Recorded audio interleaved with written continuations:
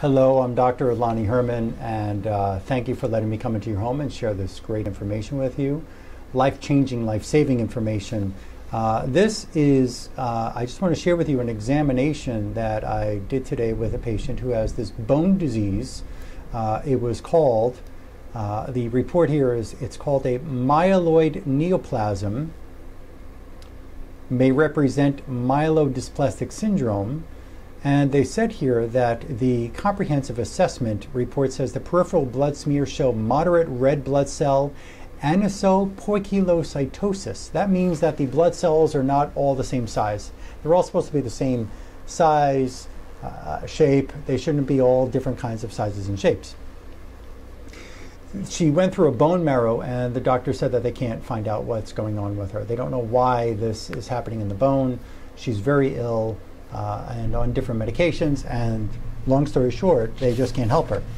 Well, in my examination with the bioresonance testing that I do, and I have all different samples in my clinic with different types of heavy metals, different mercuries, uh, different infections, whether they're parasites and bacteria and uh, viruses and mold and different fungi and vaccine residues and medication residues and and there's a way that we can find out what's going on in a specific tissue. I have samples of human bone marrow. And within that bone marrow, I can actually tell if there is a certain toxin or infection in there.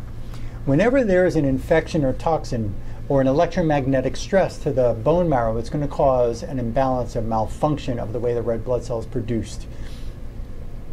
The first stress that came up on her was cell phone radiation. Cell phone microwave radiation has been proven in pre and post dark field microscopic studies to cause a clotting effect of the red blood cells she had uh, tetanus vaccine residue in the bone marrow. She had a silver and mercury mixture in the bone marrow. She had dimethyl mercury compounds in the bone marrow. She's got mercury fillings in the teeth. What you call silver fillings? In the teeth, it's in her bone. X ray radiation was found in the bone marrow, dental amalgam in the bone marrow, polio vaccine residue in the bone marrow. We had several infections that appear there as well.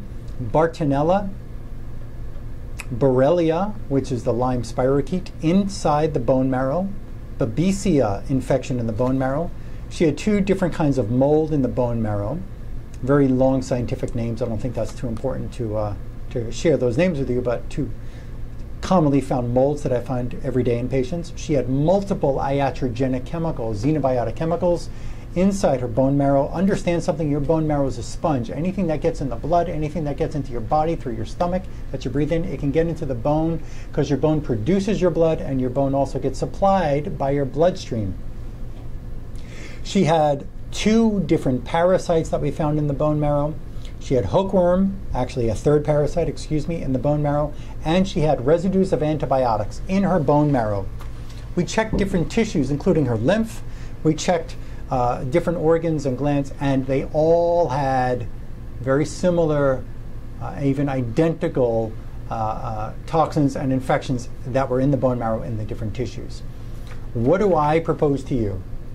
I propose, and to her and to you, is that if you have this bone marrow disorder, if your bone is sick, whether it's bone cancer or any kind of bone disease, you've got to know that something got into your bone and the regular medical facilities don't have the power, don't have the right tests to be able to get that toxin, to find the toxin or find the infection and pull it out of there.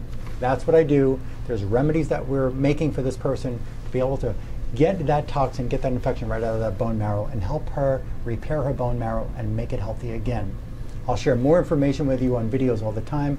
Subscribe right here. Press that red button on my YouTube page here. Subscribe to my channel. I put up videos every day, every week. Uh, you can also subscribe to my Facebook page. I'll put that in the description below this video. It's called Westside Advanced Care Center. I look forward to helping you and your family, and there is a way out of your illness.